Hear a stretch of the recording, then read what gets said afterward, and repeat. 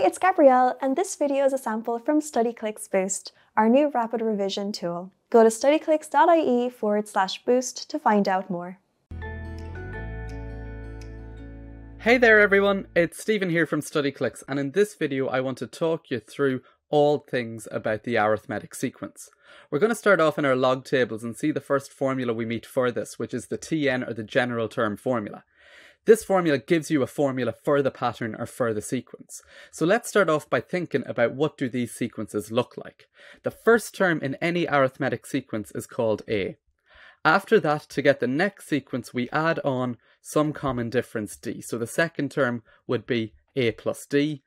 Then to get the third term, we add d on again and we'd get a plus 2d, and so on. We'd have a plus 3d, and that process would continue. So that's the structure of an arithmetic sequence. And what we want to do in this video is take a look at how do we find a formula to represent this sequence.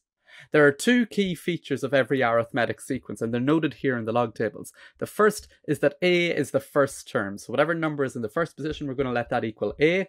And secondly, D is the common difference. That's whatever number you're adding or subtracting on each time to get the next term. If we tackle this question, we're asked to find the general term formula Tn for the following arithmetic sequences. So first up I have 5, 2, minus 1 and minus 4. Now I have my Tn formula here on page 22 in the logs. I know I need to know what A is and what D is. A is the first term, so that's really simple. We're saying A equals 5.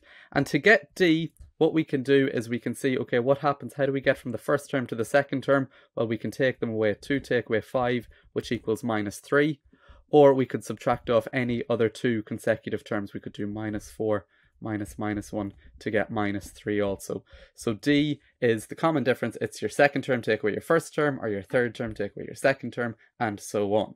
Now I can slap these figures into the formula. I'm just going to say that Tn, n stays, it's going to equal A, which is 5, plus n minus 1 times D minus 3. I'm going to multiply out the right hand side and tidy it up. And here I have it. Tn equals 8 minus 3n. This formula will give us any possible term in the sequence. The general representation of any term looks like that. So if I wanted to find out what the 10th term was, what I would do is I'd sub in n equals 10. If I wanted to find out what the fifth term was, I would sub in n equals 5, and so on. Let's apply this formula to another pattern. We have p, p plus 7, and p plus 14. So straight away I'm going to say what a is. a is the first term, which equals p, and our common difference here, we're adding on 7 each time. I hope we can all see. So D is just going to be 7. And again, I'm firing away and plugging these figures into our formula. So Tn equals P plus N minus 1 times 7. And I'll multiply out and tidy up. And there we have it. We have our formula Tn equals P plus 7n minus 7. And again, this unlocks every term in the sequence. If I wanted to find out what the hundredth term was, I would simply sub in n equals 100. If I wanted to find the 25th term, I would sub in n equals 25 and work it out. So these formulas create a general term or a general representation of the entire pattern. The Tn formula can then be used to solve some problems involving sequences. So if we look at a scenario here where we have our pattern 4, 7, 10, 13, and we're told it's an arithmetic sequence, in part A we're going to find the nth term of the sequence, which is your general term formula. So let's just fly ahead and do exactly as we did above. We get Tn equals 3n plus 1. We'll move on to part B where we're asked to find the 27th term of this sequence.